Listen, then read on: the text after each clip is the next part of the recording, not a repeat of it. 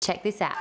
With Finder, you can finally make that change to a better credit card. Just drop in your balance and interest rate, and Finder instantly calculates what the banks are offering. Find better.